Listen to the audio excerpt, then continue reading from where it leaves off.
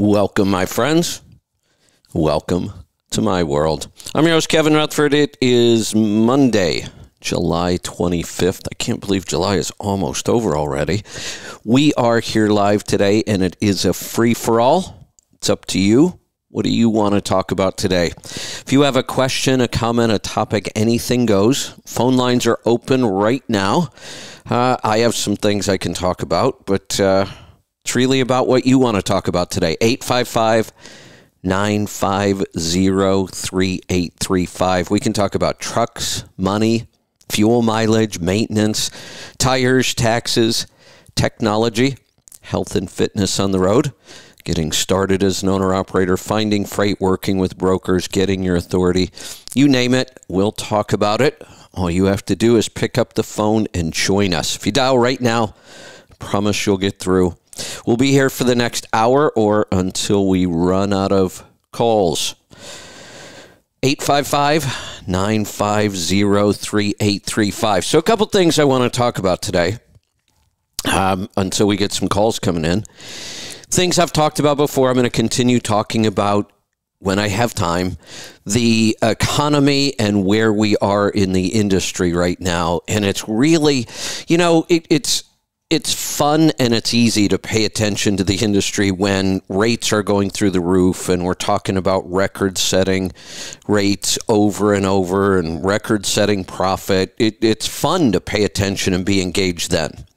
A lot of times when the news starts turning bad, uh, we'd rather not pay attention. Sometimes that's when we'd rather just stick our head in the sand and ignore it. It's the worst time to ignore it all of the opportunities are at the bottom of cycles in the the bottom of economies never at the top. You know think about the last couple of years. Everybody was making money with a truck. It was almost impossible not to. But now now it's going to get much more difficult. But this is where all the opportunities are at the bottom. So your job is to get yourself prepared to take advantage of those opportunities. Get ready to be in business. I'm not saying you should run out right now and buy a truck and get into business. In fact, that would be a bad idea. But now is the time to start getting ready because I think the bottom is probably somewhere between six to 18 months out from where we are right now maybe 24. This is the time to start getting ready for that. What does that mean to get ready? Um, well, I'm going to talk about it in a little bit, but personally, we want to get our personal finances in order, understand what our net worth is, and, and what we have for resources. Business, the way you get ready is you start understanding business. You start writing a good business model. I'll talk about how to do all these things. That's what it means to get ready to be in business. And then the longer the bottom takes to get here, the better prepared you're going to be. So, what if it doesn't happen in six months or 12 or 18? What if it takes 24 before the opportunities really start to show up? Well, that would actually be a good thing. Unless you're completely prepared right now, and I can promise you most people aren't, start getting prepared. So let's uh, let's think about that for just a second. A lot of people went out in the last six months and, and got into business. Those people are going to struggle. Some of them will survive, but many of them are going to fail because they did not give themselves any advantages. In fact, it's the exact opposite. They paid too much for the truck. They're they're paying too much for everything right now, and rates are tanking. Fuel is still high. This is not the time to try to be in a new business. This is a tough time for established businesses, but it's a great time to get ready.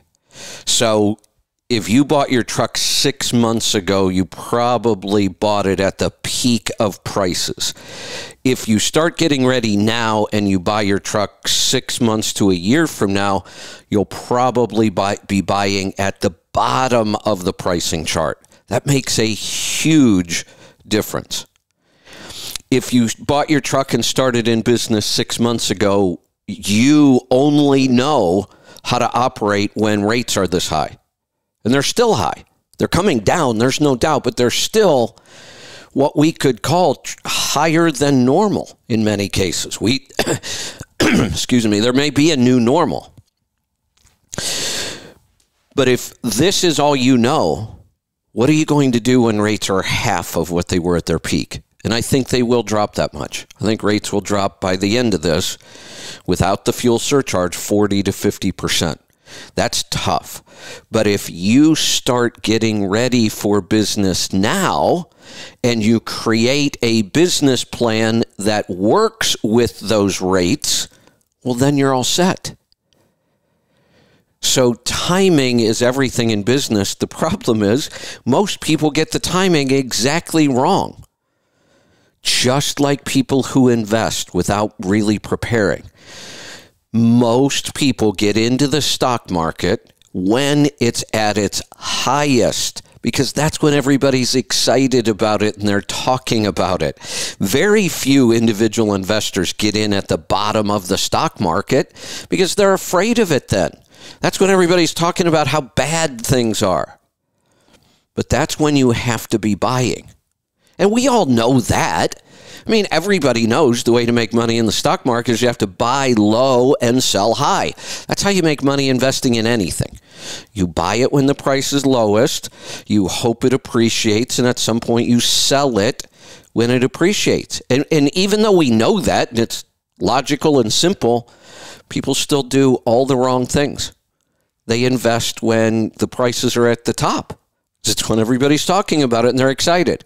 Then they sell when prices are at the bottom because everybody's talking about how bad it is. You have to get yourself into a position where you're contrarian. You're doing the opposite of what most people are doing. Most people got their trucks and authority in the last year or three when the, everything was booming. Now is the time to be thinking about it, not then.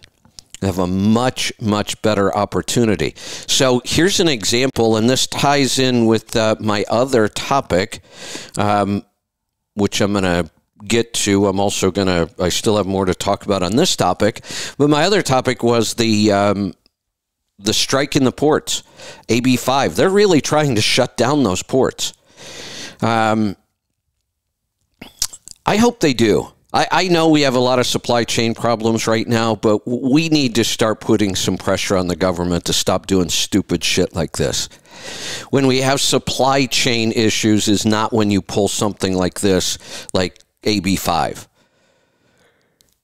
That is going to make our supply chain issues far worse. Well, let's just double down. I hope they hold steady in the ports. Now, they're they're talking about trying to use legal action to get them out of there. Here's the problem I have with that. We have a clear law written about protesting in front of judges' homes, especially but not limited to Supreme Court judges, all judges. You can't protest in front of a judge's home to try to get them to change their mind. But that's what people are doing. They're trying to put pressure on the justices to change their mind. That's illegal. It's clearly illegal. We have a very clear law written about that. Yet the Department of Justice has done nothing for months while people protest every single day in front of Supreme Court justices' homes. So if these owner operators in the ports want to block the ports, then I don't think they should be arrested either. You're, you're either going to enforce the laws for everybody or enforce them for nobody. Can't pick and choose who you enforce laws for. So that's what's going on in the port. But listen to this, because here's one of the problems, and the government knows this. The government knows if they can hold out long enough that the owner operators will probably cave eventually just because they'll run out of money. That that's really what will stop something like this from being effective. But as I was reading this, I read this paragraph and I thought I should have known this was happening. I should have known it was coming. But I I, I really I didn't want to believe that this was happening, but it is because here's an example of it. And if one person did this and it made it to an article, there's probably a whole lot more. So when I read this, at first I thought, wait a minute. How, you, how does that work? And then it dawned on me. So here's the paragraph. I'll read it to you and then I'll explain it. Um, let me kind of go back and give you some uh, context here.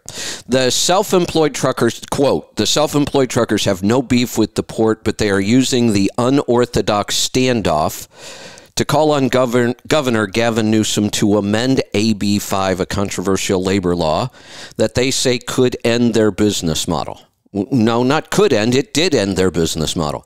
Some say they will continue the port shutdown until they get action from Sacramento. That's what I hope would happen, but, and there's always a but, but there are signs that members of the loose coalition of truckers who are not affiliated with a union are growing weary. Now, here's a quote from one of the people they're protesting I don't know how long I can keep it up. We all have bills, said Long Mock. Long Mock, I guess that's his name, um, who recently, listen to this, who recently took out a 30 year loan on a new $168,000 truck. But it's a matter of whether I can go back to work now, and in a month or two, I'm forced out of business. Um, there's so many problems with this. When I read this, I'm like, wait a minute. Nobody would loan you money for 30 years on a commercial vehicle. Just does not happen. And then it dawned on me oh no, there is one group stupid enough to loan somebody 168,000 for 30 years on a commercial vehicle. And of course, it's the government. Remember the uh, EIDL loans? That's what this is. I guarantee you. It doesn't say that, but I guarantee you that's what that is. This is an EIDL loan. 30 years, 3% or whatever the rate was. Killer deal, but a really, really bad idea to finance a truck with. And if you understand the business model in the ports, and I was involved with the ports way back when in uh, Cleveland, the ports wherever you are around the country, little ports, big ports, doesn't matter. Those tend to be owner operators who want to be home more often. That's why they work out of the ports because they're home every night for the most part. Those are pretty local uh, kind of shuttle jobs with containers and, and coming out of the ports. Now, there's some exceptions to that, but that's a big part of it. Because of that, there's more demand for those jobs for people who are tired of being on the road and away from home. Because there's more demand for the job, the, it pays less. Anybody who's run containers knows it pays less. Doesn't mean you can't make money. You can. If you know how to run that operation, you really can. But it pays less. You'll gross less. You have to understand how to control your costs in that operation. One of the big ways you do it, you don't buy $168,000 trucks. That's not the truck that belongs in the port. What belongs in the port, honestly, ten to fifteen thousand dollar trucks and you just keep them running.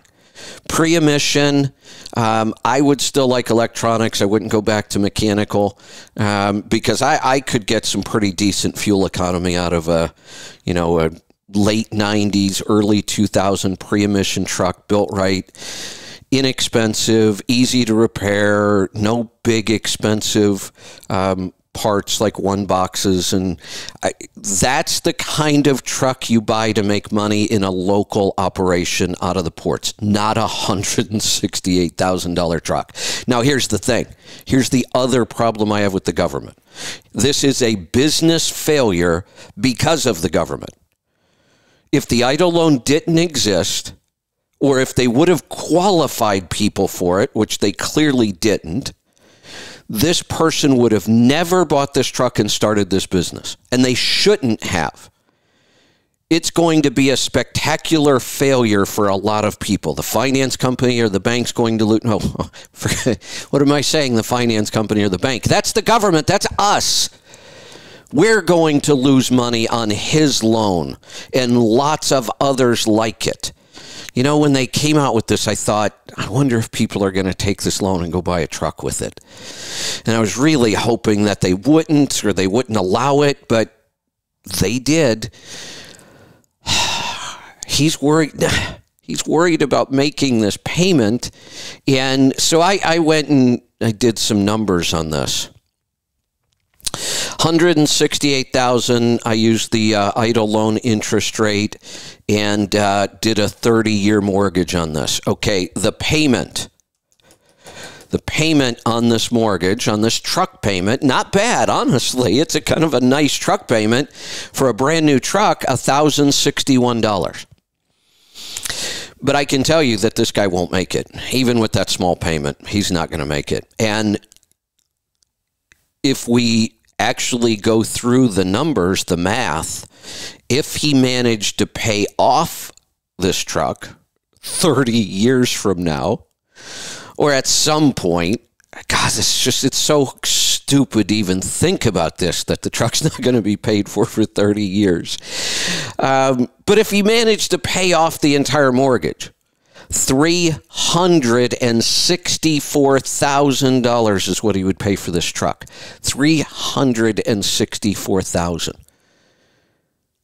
Now, I know most people that don't understand how to make money in this business think that it makes sense to have a new truck because you have a warranty and you don't have the risk, and that's all bullshit. But a lot of people do that.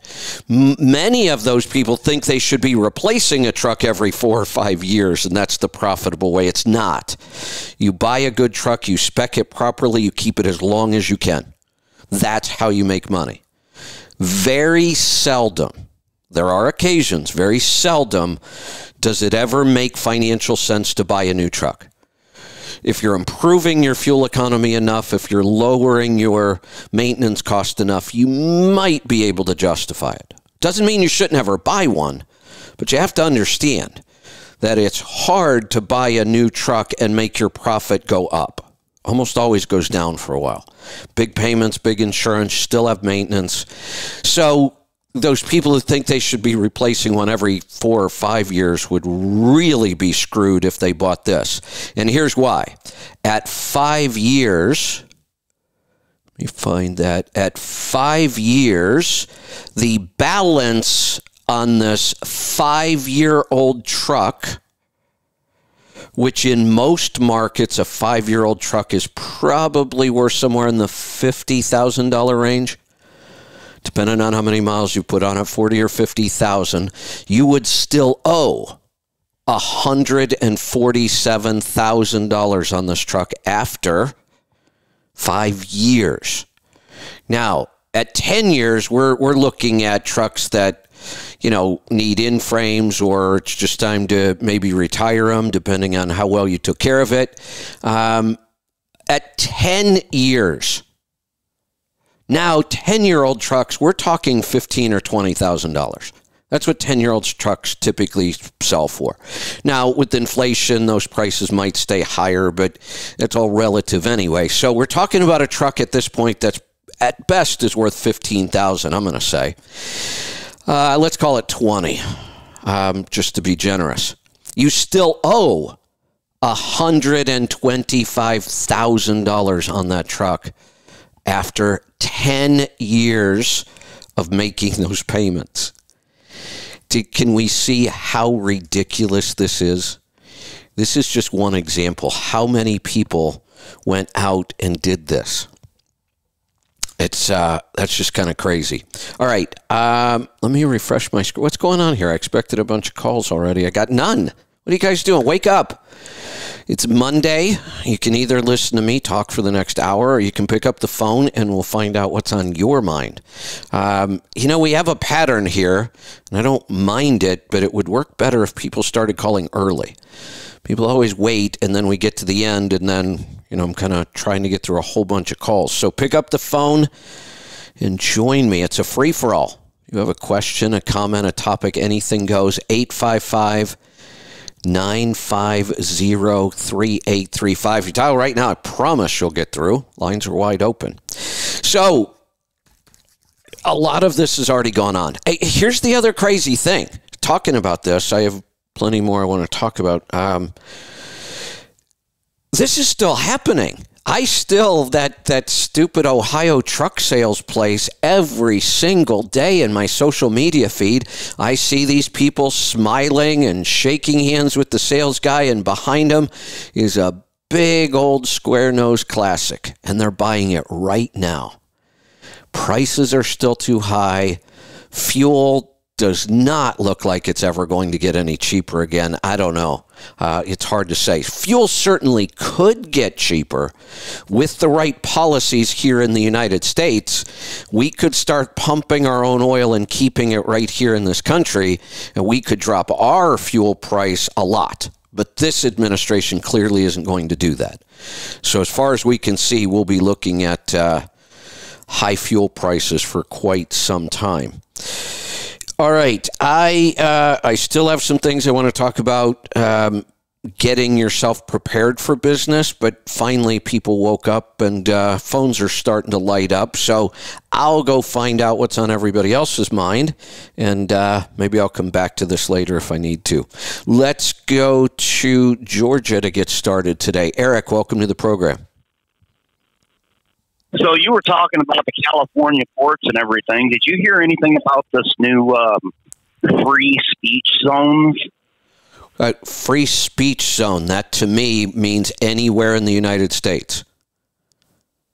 Yeah, they're uh, they're they're trying to make it illegal to uh, um, protest in front of the uh, uh ports there. Uh, well, okay. We made it illegal to protest in front of judges' homes a long time ago, but they clearly have chosen to ignore that. Right. No, I just got a kick out of that. I was, I was, I didn't read it. I heard it, but uh, and I heard it on that uh, that that other channel, you so, know, on that XM thing. so, are they? I, I'm a little confused here. Like a gun free zone, we know those are dangerous because then the criminals know that nobody has guns in that zone. When they say free speech zone, are they really saying a no free speech zone? That's ex- well, they're saying that you have to go to a free speech zone in order to do free speech. Oh yeah, like I said, the free speech zone is anywhere on American soil. That's my free speech. Yeah, I, just, I, I, got kind of a kick out of it. I haven't had time to uh, to actually go in and research it, and see what the hell's going on about it. But uh, but yeah, that's where our country's at right now. Yeah, it's uh, it, it's pretty insane. You know, I, I'm I'm glad these guys are standing up at the port and protesting this, and I hope they hold strong. I have a feeling they won't. I have a feeling that too many of them are in a financial position like this guy with the $168,000 truck in the port, um, which is a really bad idea, and it's financed for 30 years. Um, those people aren't going to, they don't have the financial ability to hold out. It's a shame, and the government knows that. Yeah, you know, I, I, I watch a lot of uh, little YouTube shorts and stuff like that. I follow a guy, uh, uh, uh the trucking news with my uh, my or whatever his name is. Um, I'm I'm all fine with everything until they start pulling fifth wheel pins and stuff like that. If you want if you want to do a proper block, you know, you just uh, keep walking in front of it. That way, you're not lawyering, you're not breaking the law, but you just walk in a circle. Yeah, you know, and just just keep yeah. that thing locked down. You know, at at this point, you just said something, and and I I get what you're saying, but at this point, why not break the law? Everybody else is. Yeah, I understand. We're, we're, but people that are going in there, they're they're they're they're locked in. You know, they're they're most of those are, are company drivers that uh, that are just trying to do their job too. So I mean, I, I understand the, on both sides of it, and I do I do see where you're coming from. Uh, I just I, I don't want to see anybody tear anybody else's stuff up. I, I get that, I, and I don't. I, I'm not talking about violence or you know sabotaging things. That that's not what I'm talking about at all when I say break the law. All I'm saying is if they are going to claim that just being there in the way is breaking the law, and they're going to arrest people, then they better start doing that at the justice's home as well. Oh yeah, oh yeah. No, no, I agree with that. Yeah, if they're gonna if they're gonna make it a uh, uh, a not a free speech zone, yeah, I would I would totally still still break the law on that. I just don't I don't want to see anybody pulling people's fifth No, wheel no, I'm- or I'm- tires. or- Exactly. I'm not talking about that at all. And I'm not talking about violence or, or sabotage, none of that. All I'm saying is if they're going to claim that it's against the law for them to be there and protest, then break the law. I absolutely agree. Well, I'm gonna get back to listening to you, man. It was a great open this morning. All right. Thanks for the call. I, I got to tell you, too, um, it was kind of a crazy weekend. It's weird because, in some ways, I'm improving my sleep. I'm working on some things. I'm finally seeing some improvement, but there's also some weird things going on with timing right now. So um, my sleep is actually deteriorating in some ways. And this morning was one of those mornings. Um, Lisa and I did an awful lot outside yesterday, and it was one of those hot days, and probably pushed it a little too far, and then I didn't sleep good because of it. So, um, normally I wake up on my own pretty early in the morning. Lisa had to wake me up this morning, and I'm, I'm kind of groggy, just can't seem to wake up today. Um, honestly, 15 minutes before my open, I had no idea what my open was going to be about. And then two big ideas came to me. I didn't even get to finish one of them. Um, sometimes it's just the way it goes. Let's head off to Ohio this time. Ken, welcome to the program. Hey, Kevin, how are you doing this morning? Good. What's on your mind? So, I bought this truck in 2017. It's a T680, 264 rears, spec for the 10 overdrive, Eaton Ultra Shift. Time for a clutch. Also, I'm considering doing a transmission swap to a 12 speed or 13 speed. What are your thoughts on that? So, how My many? situation since I purchased the truck changed. I was all flatland before. Now, of course, I'm, you know, five years later, I'm rolling hills Got and it. Okay. reasonably heavy. And Yeah. Okay. So, how many miles did you say are on this? 573. Anybody figure out why we need a clutch? Mm, haven't been that far yet. I'm wondering if I, the, I, it, I, I would. Does this thing struggle with startability with the 264s? Was there just a lot of times you were heavy and really riding the clutch to get it going? No, I don't think so. Huh. It, uh, It's just it's just unusual. I mean, I I'm trying to think of all the trucks I ever owned, and most of my trucks I took well over a million miles. I can only remember one clutch all those years. There's almost never replaced clutches. So under 600,000 miles seems odd to me and I'd like to you know sometimes I just you just want to know why. sure. Oh yeah, yeah. No, I completely Seems a- understand. yeah, seems that a was little kind of my thought too. Because So- my other truck, you know, I was over over a million miles, and uh, or right, I think I was 957, 58,000, 60,000, something like that when when one of the gears in the transmission started rattling, and and I had him do a transmission and a clutch. That clutch that makes sense. just Yeah. about at the end of his life. Yeah, know, that I that mean, makes sense. And that's I, about the I did time. my last last adjustment on it. Right. Yeah. yeah. you know, and so I think the only other thing I can think of with this one is um, it is, I am running a tune in it from Pittsburgh Power. Yeah, that shouldn't matter, really. It, it, it shouldn't. I wouldn't think so. No. Um, so it, one of the reasons mine tend to lasted longer too, because a lot of my operations were light. You know, a lot of my trucks ran fairly lightweight with the FedEx doubles in the southeast where there's no hills and no poles. And, you know, so it wasn't hard for me to get 1.2, 1.3 out of a clutch. Um, here's the, the 12 speed auto shift would improve drivability on this. It would improve fuel economy. That what is your fuel economy, by the way? Uh, seven three on a ninety day average. Okay. So the problem the I- problem comes actually- in. I I have you priced putting a 12 speed in yet? I have not yet. No. I'm going to guess. I'm just going to make a guess based on what's happened to labor rates and parts and inflation that you probably can't swap a transmission for less than 10,000 anymore. That's just going to be my guess. I, I would assume you're right. Yeah, that would be my guess. Now, if you could go out and with, with, the find 10, with a ten to a twelve, you, you're not you're not going to get the core. Uh, you know, so it's going to be a pain. Yeah. Uh, now, if end could, up with, if you you know, could go out and on find one of these transmissions at a good price and do the work yourself, maybe this might make sense. But here's what I'm thinking: Hey, Have you have you done any real um, spending on fuel economy upgrades? I have, yeah, yeah. Okay. I've got fleet air filter, air tabs, high rolling resistance tires. I'm running Bridgestones on the drives, Michelin's on the steers.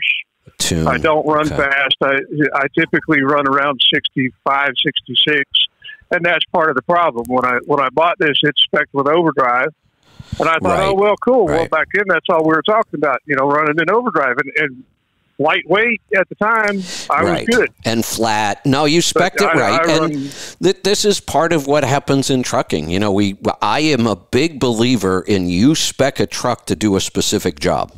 That that's how you make money. Now, if you change, you got to look at it. Then, does it make sense to try to alter this truck? Does it make sense to just keep this truck and deal with the fact that it's not efficient, or does it make more sense? Should I trade this and go get something else?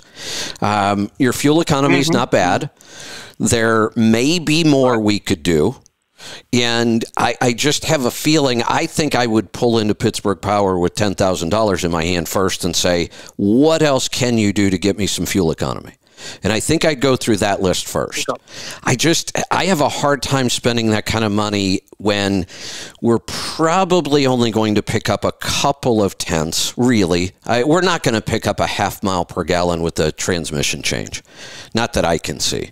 Okay. Two or three tenths at most. I- Th- that means we're probably looking at more than 24 months before we even break even. Mm-hmm. So for me, Not, not, not worth it. I When- was when kind of wondering that because I, I, you know, I yeah, typically run 65 and and directed six- or sorry in in ninth gear uh, 65 is just like 1450 it's at the the top of the power band so Yeah, here here's kind of the way I see this. This truck probably gets killer fuel economy at 60 to 65 all day long.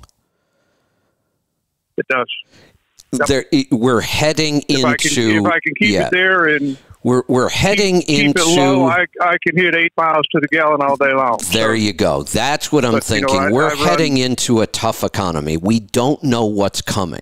And if you go spend that 10,000 now, your costs have now gone up for 2 years. Right. I would rather not do that in a time like this.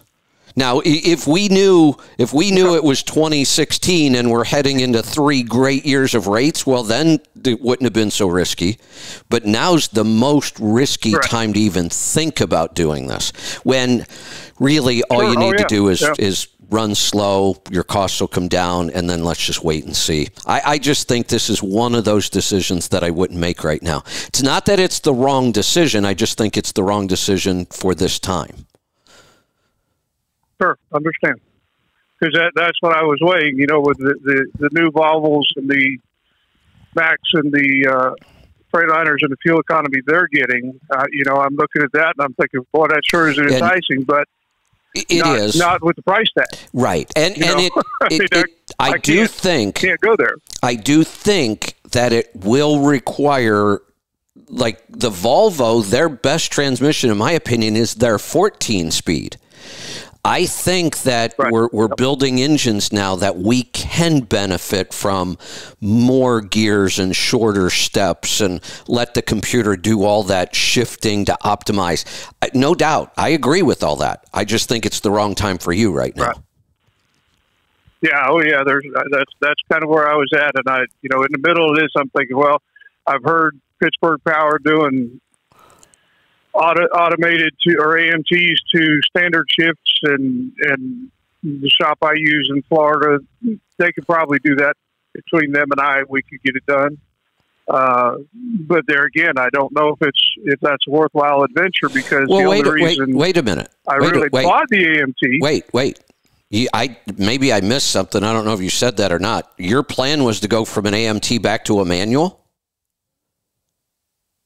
Well, it, no, my, my thought was to, to, to do AMT, but a manual isn't out of the question either. Oh, yeah. See, for me, a manual would be out of the question. Hell, I'm not spending ten thousand dollars to go back to working harder and being less efficient. You- You know, I have to work harder. I have to think about shifting all the time. And if I'm not really thinking about it, then I'm not being very efficient at it. And the point of, like I said earlier, these 14 speeds are starting to make sense. Let the computer shift that thing multiple times over and over and over to stay right in my efficiency zone. I don't want to have to drive like that. So there's no way I would pay to go Yes, backwards yeah. to a manual.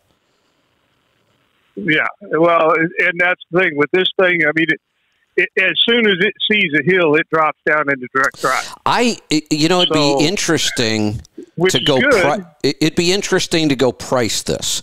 If you go try to buy a 13 speed manual, which if you're going to get a manual, that's what I would recommend because that's really Oh, no question. yeah, a 13 speed. Um, you'll probably get the transmission cheaper than you would an AMT, but the install is going to cost more. You got to put in a clutch and linkage, and so uh, it might be interesting. You may go price this and find out you're paying just as much or more to get a manual transmission. I'm sure by the time it's said and done, parts and labor, you would be. Yeah, see, I You can't. you think, that doesn't make any sense to me. Clutch pedals, gear shift, Right, plates. right. All the you think of all that stuff and the labor, the you know, yeah, drive shaft change and yeah. Yeah, that's that's kind of what I was thinking. That's a Yeah, pretty I- expensive adventure to I I would I would there. take that ten thousand and park it in the bank. It's a whole lot. It's going to do you a whole lot Okay. more good during a tough time than it would be spending it now. Right. Okay, well then I'll just do a, a clutch and uh, try to get upgraded clutch to cover the change in torque, and hopefully we don't have any more problems with that. Yeah, yeah. It, it, I, I, it, this is the time if you could upgrade that clutch. You know, I don't worry about the tunes and putting this kind of torque to the drive line. It- most good drivers, it'll be just fine. But if we can upgrade, if we're changing the clutch, sure, let's get something a little heavier. Let's uh, let's see. We're gonna head off to Ohio. Paul, welcome to the program. Yeah, I'm out of my normal region. I, w- you know, I. It's funny you said that. I was going to comment on like, what the hell are you doing in Ohio? You're never in Ohio. I'm on the way to Saxonburg, Pennsylvania. That makes sense. Yeah, I'm on my northern excursion, my once a year. So That's right. Your Um, pilgrimage. yeah, it's worth the drive. That's right. I'm going to be loaded real close. I'm going to be unloading, making my last delivery near Wheeling, West Virginia, and then just You're- skipping a jump to Saxonburg. You're right through the woods, over the river and through the woods. Yeah. Yep. Or So- through the woods and over the river. You're talking getting through the hills and over yeah, past Grandma's to eat a sweet tea. So, That's right. Um, talking about people buying trucks and prices and fuel mileage and everything. There's at the moment there's two companies in Oklahoma sign up for the lease purchase to never own. Uh, 389 Peterbilts, 280 wheelbase. you know, all, all the all the wrong all the wrong specs to be successful and make money, but Eh, you know, on the lease purchase deal. But and then some of the one of the comments yesterday, oh, the truck speed limited, and it's like, I guess he don't realize he's got to pay for the fuel as well. So, hey, you know, crazy. I, I, I just thought of something. I think after all these years, I have found the worse deal than even the lease purchase. What's It- that? It's that damn 30 year loan on a new truck. That's worse than a lease purchase.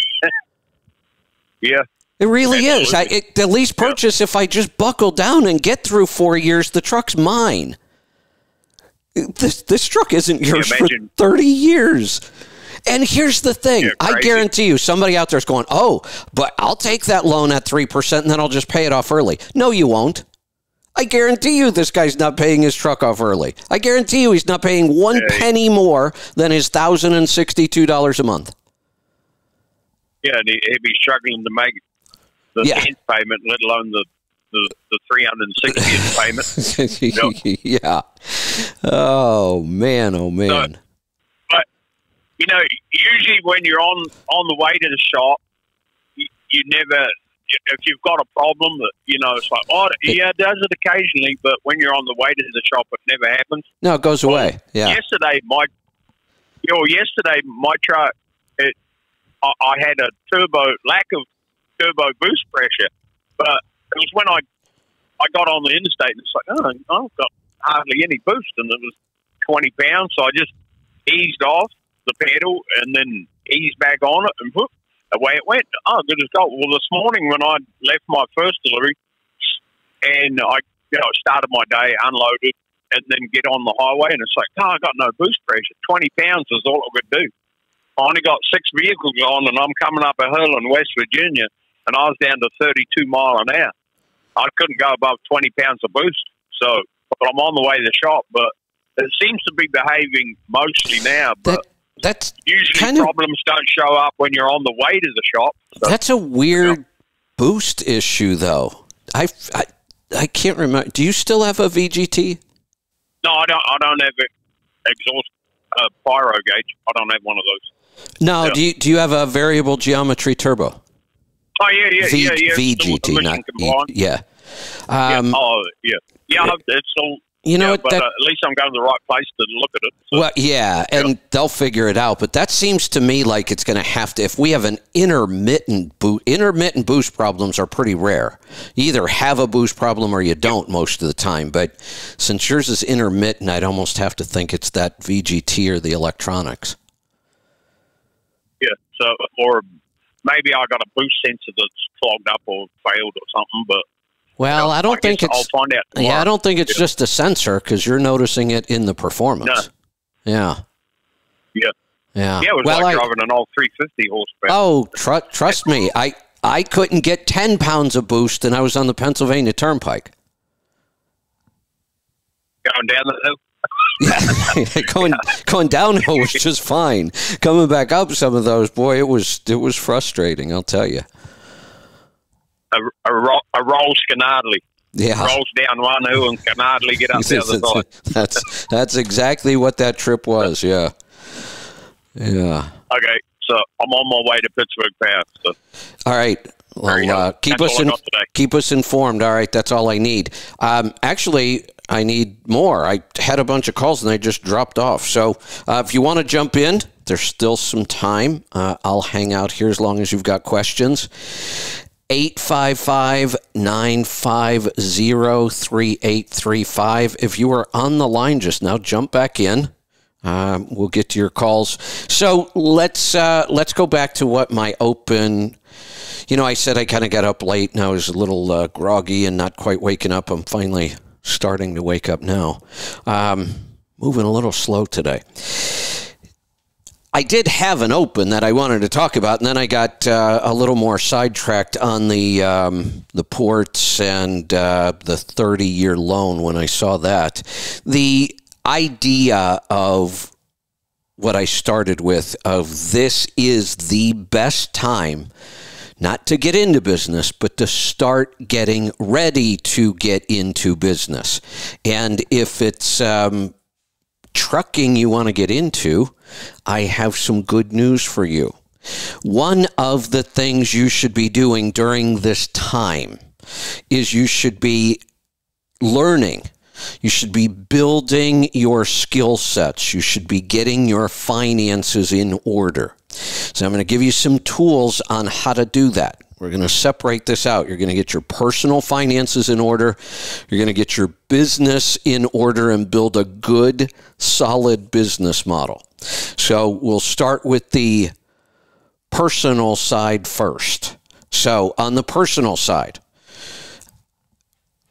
here's what I would recommend. I would recommend go read or listen to anything that Dave Ramsey has. I haven't looked at his books lately. I don't know what he's got available. I remember the Total Money Makeover was an awesome book. You are going to learn some really, really simple, basic stuff about personal money management that I wish they would just teach us in school. This stuff is not complicated. It's really not. It's really simple to understand.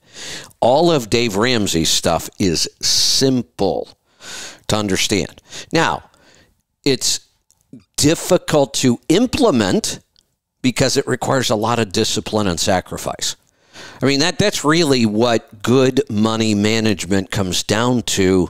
For the most part, you have to figure out how to conserve, how to not spend. So we have to earn, and the more we can earn, the better off we're going to be. But for most of us, the real key is not in how much we earn, it's in how much we don't spend. That's a lot of what you'll learn with Dave Ramsey stuff how to create a really good budget.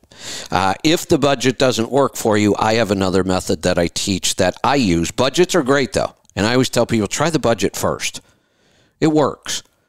If it if it fits your personality and your style. Budgets didn't for me. They're too restrictive, um, too repetitive. It just didn't work for me. It doesn't mean they don't work, they do. So try that. Start with Dave Ramsey's stuff. Also, I've talked about this many, many times. A great, awesome free tool for getting your finances in order, personal finances, is mint.com. So I'm going to give you both educational resources and practical resources on both personal and business. So either want to record this. Well, you know, you don't have to record anything anymore. Um, because all of our episodes are now available anytime you want to listen to them on the app. So all you'd have to do is make a quick note about what day and time um, you are hearing this so you can come back to these resources. So Dave Ramsey and Mint.com. If you want a, a more advanced personal finance education, um, I would throw in oh, Anthony Robbins' book. Um, he brought two of them out at the end. What was it? Un- Unshakable? One of them was actually shorter. He brought one out that was really long. I actually said it's the best personal finance book um, I've ever read. Somebody's probably sending those to me now. Um, oh no, Matt did some things on the loan. Yeah. Um, $180,000 loan. Okay. He came up with some pretty good numbers there. Um, 30 years at 3% or five years at 8%. Uh, instead of $93,000 in interest, you pay $38,000 in interest on a typical truck loan. Um, the whole EIDL loan, I said it's a great deal on a loan. It's a horrible deal to buy a truck with. So um, back to the personal finance. Um, mint.com. Excellent. It's free. It'll take you a good, solid day, maybe even a weekend, um, to get to get everything kind of in order. Uh, Unshakable, yeah, that was the book. Uh, thanks, Matt. Um, you don't have to read the Anthony Robbins stuff. It's a little more advanced. It's more about investing long term. But if you're going to kind of do this deep dive and get your finances in order, if you want to go a step further to know how to manage your money for your whole life, then I would get the book Unshakable. Um, that will handle everything you need to know about personal finance. Dave Ramsey, mint.com, and Anthony Robbins books. That's all you need. That's an excellent, excellent personal finance education. Everything you need is right there. Uh, mint.com is going to help you get your net worth figured out. And the beauty of it, to me, the single most important number when it comes to personal finance is net worth. That's it. And I want my net worth to get bigger constantly. That's the goal. I just I want my net worth to continue to grow. The bigger my net worth is, the more opportunities I have, the less risk I have. So that's an easy scorecard. There's a, a really concise plan for your personal finances. Read or listen to Dave Ramsey. Sign up and set up mint.com. If you want to go a step further for lifetime financial planning, pick up uh, either Money, Master the Game. I think that's the long one, or Unshakable from Anthony Robbins. Now, let's move on. We've got your personal finance completely taken care of education and resources. Let's move on to your business because I'm going to do the same thing for you here. On your business, what I want you to do is take three courses on our website. We have three business courses to really get you started correctly. Actually, I think I could throw four in here. I could throw four. Maybe we should do some sort of a bundle. Aaron, if you're listening, Lisa might be listening too. Maybe we need to put together a bundle. We have four courses that would really help somebody get started as an owner operator. We have Taking Care of Business. That's one of our courses. I actually wrote that course uh, and recorded it uh, with Larry Winget. That, that's a, one of my favorite courses. Larry, um, I was on the road a couple years back, and Larry and I were talking, and he said, Hey, I know you're out on the road. Are you going to be uh, anywhere near Scottsdale on your trip? And I said, actually, I'm coming right through in a couple days, uh, but I got to get to an event in California. Uh, and I said, what are you thinking? And he said, well, he said, I just had an idea. He said, you know that uh, that seminar we did when we were on stage together and we did the the taking care of business. He said, why don't we just make that a course? He said, why don't you just come over to the house? We'll sit down. We'll just start recording, just you and I talking, and let's build this course. So I did. I went and did the event in California, went back to Scottsdale, went to Larry's house, uh, and we sat down and we knocked out this course. And it's it's just about business in general, not trucking specific. It's about all the good business concepts you should understand before you get into business. And we made them really, really simple to understand. That is taking care of business. Um, also, I have a free course all the things you should be thinking about before you decide whether you really want to be an owner operator or not. That one's called Changing Lanes. Then we have the step by step how do you become an owner operator and do it really successfully.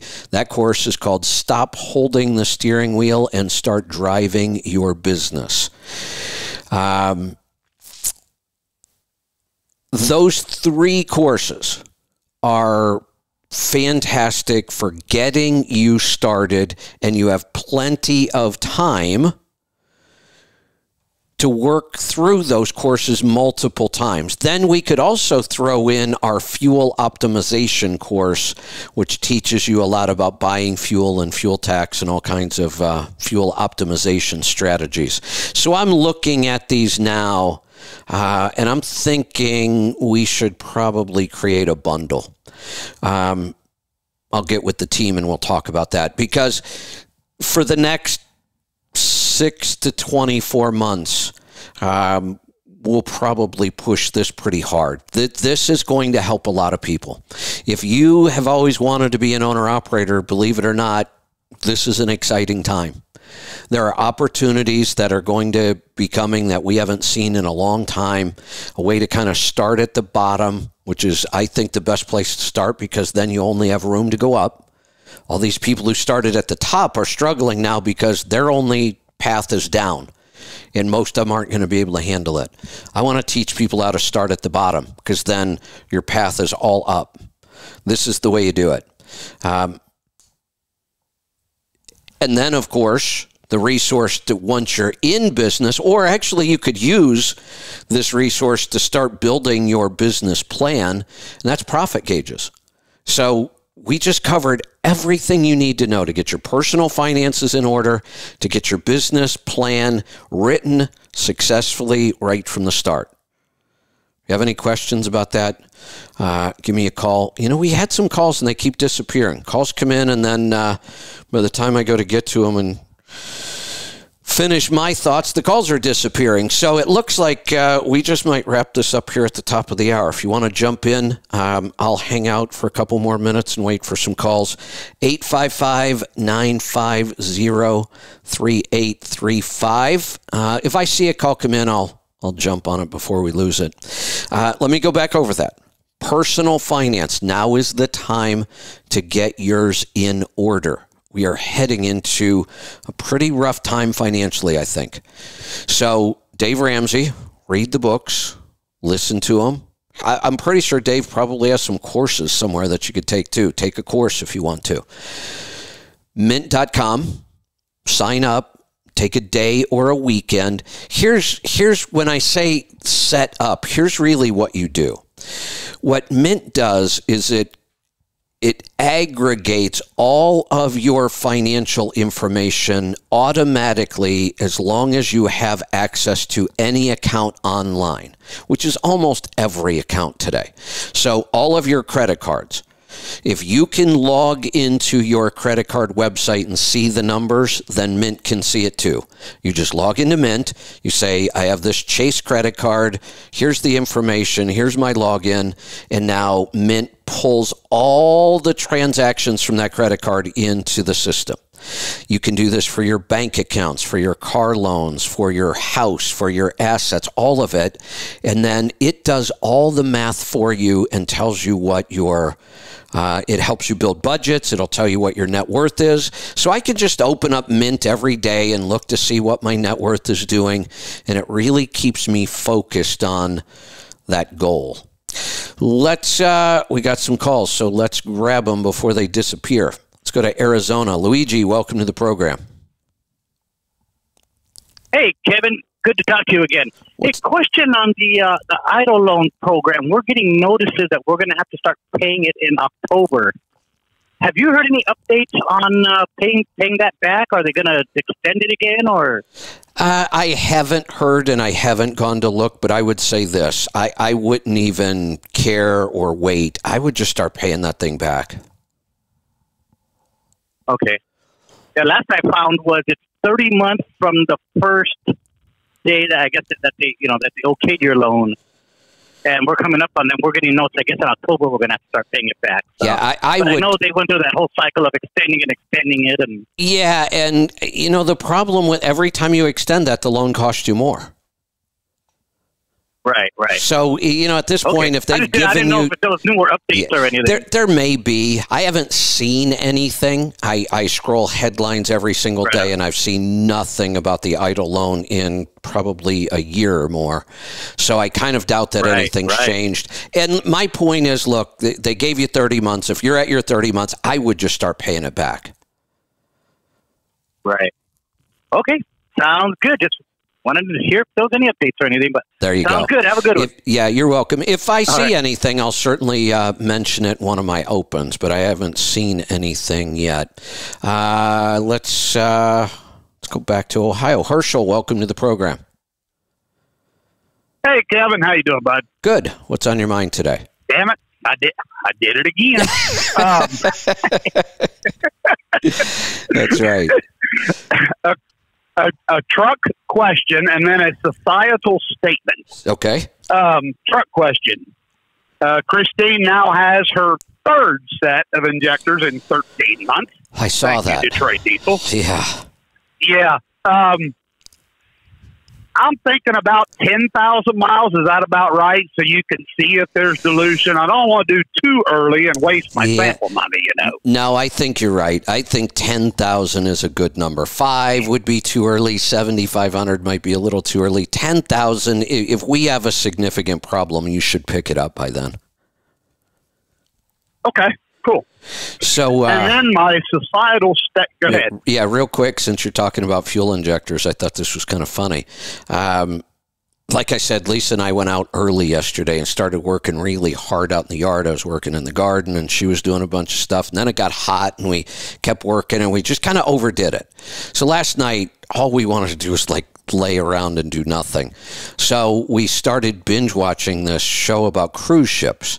It was really fascinating too. A lot of the stuff was really interesting. The ships themselves, the ports they go to, how big they are, uh, just crazy stuff. One of them, this has nothing to do with anything, but I thought it was hilarious. Have you ever seen the, the long boats that they do river cruises on? Oh yeah. Those are, I think those are so cool. I'd much rather do that than a big ocean uh, cruise. But this long boat in Europe, the bridges are so low on the rivers that the, like the, you know how those ships have like the control room that kind of sticks up from the very middle. So they have, you know, a view all around that boat. The this particular boat, because this river had so many low, the entire control room would sink down into the ship to get under the bridges. They were talking centimeters of room under these bridges that they had to get under. And not only did the the whole control room go down, but the captain actually would stick his head out and he'd have to duck as they were going under the bridges. I th- just thought that was hilarious. Oh, my God. I know. I oh, just oh my God. I, I've never. It was so funny to watch him. The whole control room goes down, and then you see the captain's head pop up. And as he's coming up to the bridge, here's the other thing: they've got crazy technology on there. They are showing that there's only eight inches between the top of the ship and the bottom of the bridge, and there's only 11 inches between the bottom of the boat and the sandbar. I mean, that's how close all of this stuff is. And it's being measured by all this high tech equipment. But you know what they actually de- depend on to know whether or not they have to stop under the bridge before they hit something? They actually take two water bottles. One's a bigger water bottle, and then one's kind of like a standard size water bottle, and they put them up on the front of the ship. And if they if the big one gets oh, knocked wow. over, they're close, but they're okay. If the little one gets knocked over, they have to stop. That's their method. You know what that reminds me of? oh, what? Jackie Gleason in uh, Smokey and the Bandit. and He tells his son, Ducky, you're going to be talking out of your ass. And they go underneath that semi trailer. That's right, yeah. That that's this was just hilarious. I'm like, that's that's that's how this the whole thing works. That's how close some of these. Oh my Yeah. God. Yeah, and on one Wow. on one cruise, and I think the cruise was like ten days. It was like a ten day river cruise. On one cruise, have you ever seen boats go through locks? Yes.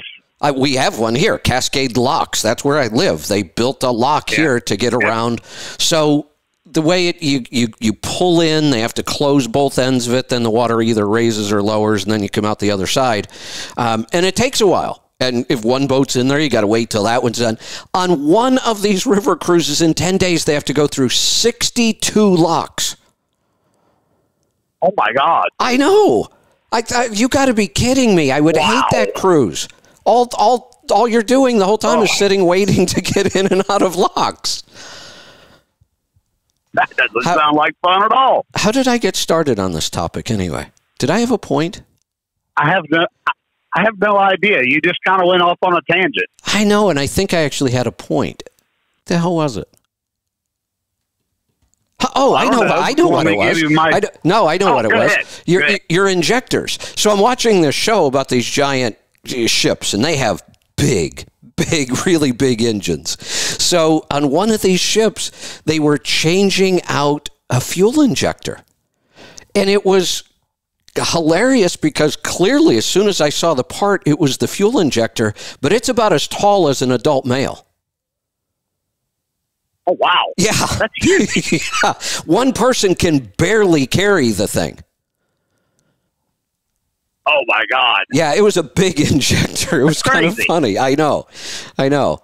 Yeah, but That's honestly, crazy. honestly, watching them, it's way easier to replace their injectors than it is ours.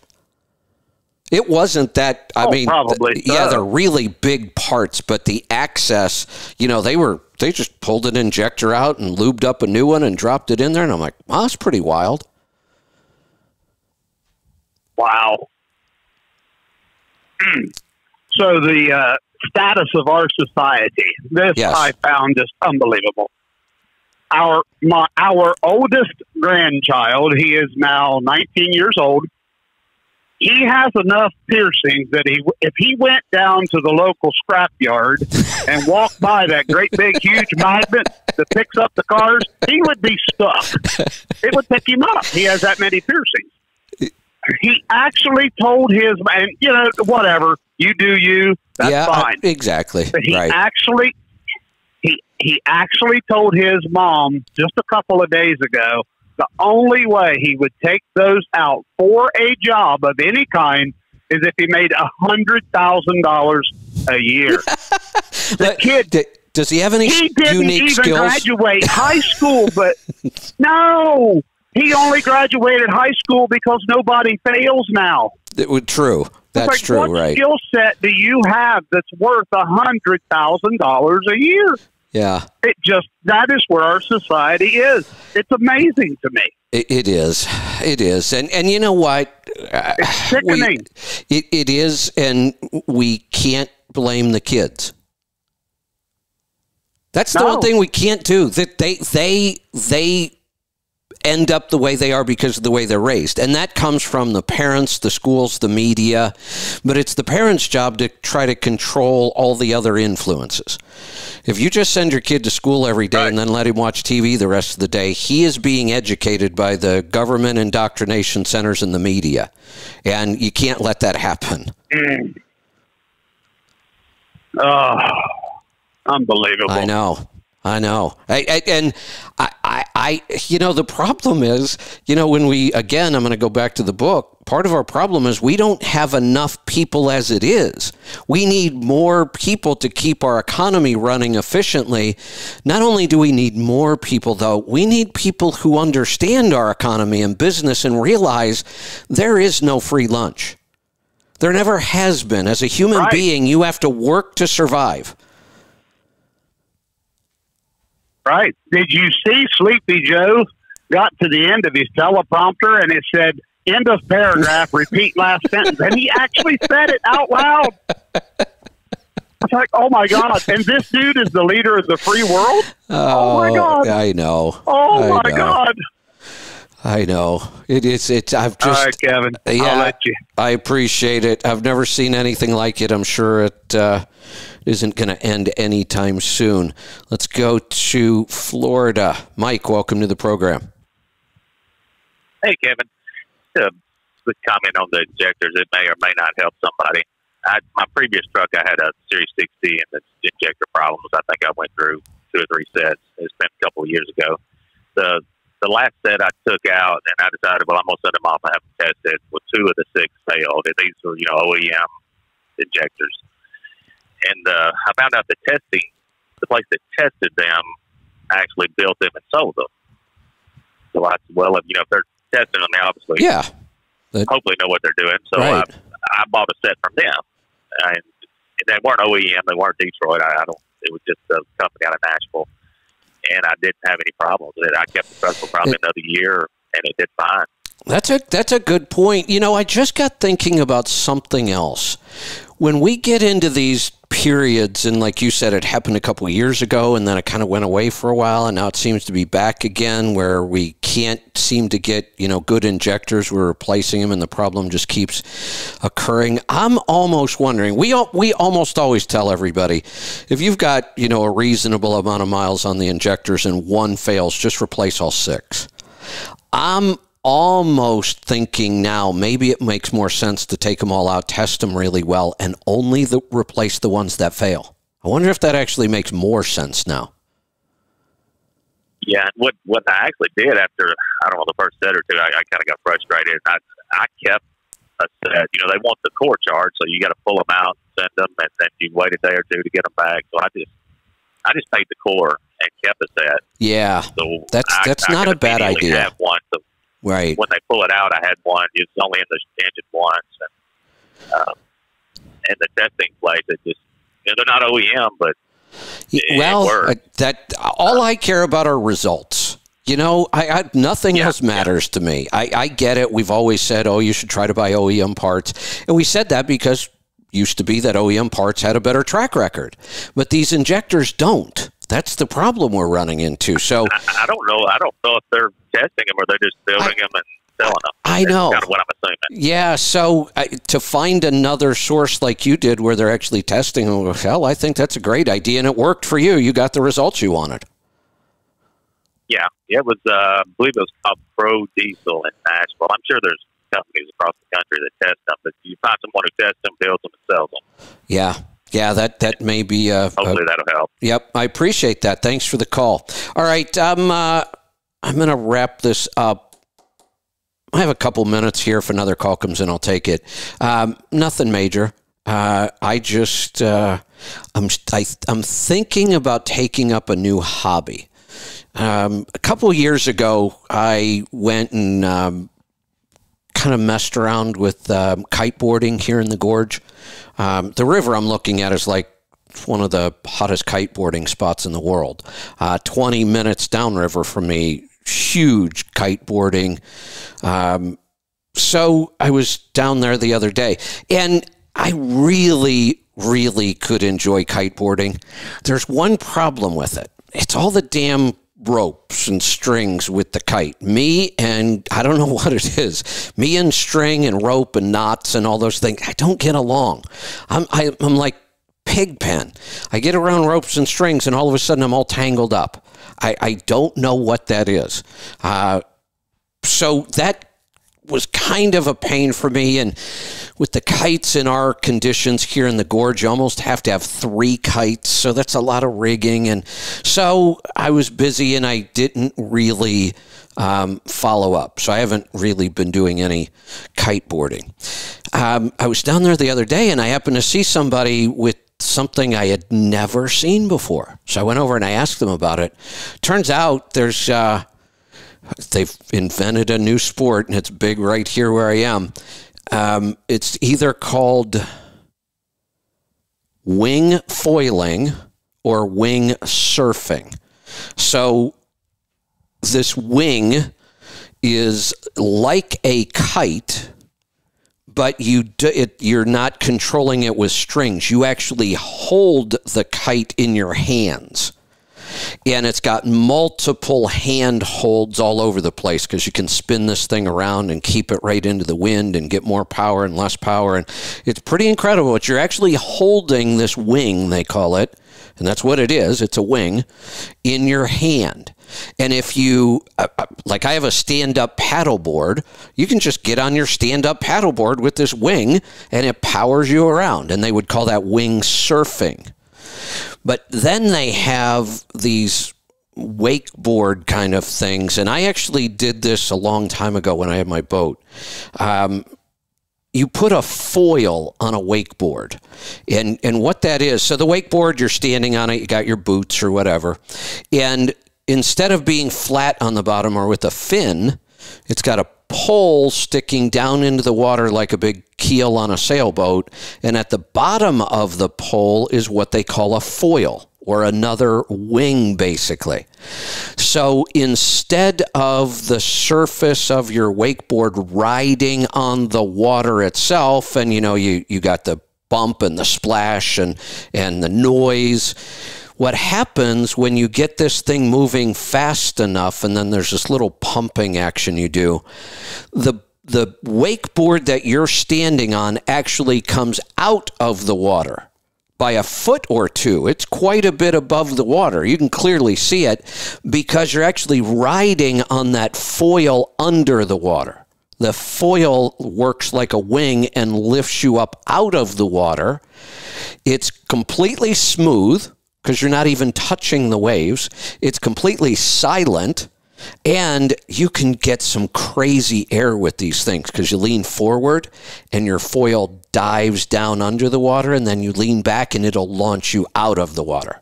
Very cool, but no ropes and kites. And um, so that would be called wing foiling. That's the, the new sport that uh, is catching on like crazy around here wing foiling. So, uh, I might actually go down this week and, and look at getting a wing. I have almost all all the other equipment I need. Um, I will need to get a foil at some point. I think I'm just going to buy the wing. Uh, I have my wetsuits and all the other stuff from uh, kiteboarding. I think I'll just take it out on my uh, stand-up paddleboard and play around with it a bit and maybe look at getting a foil here soon. All right, we uh, we're going to wrap this up.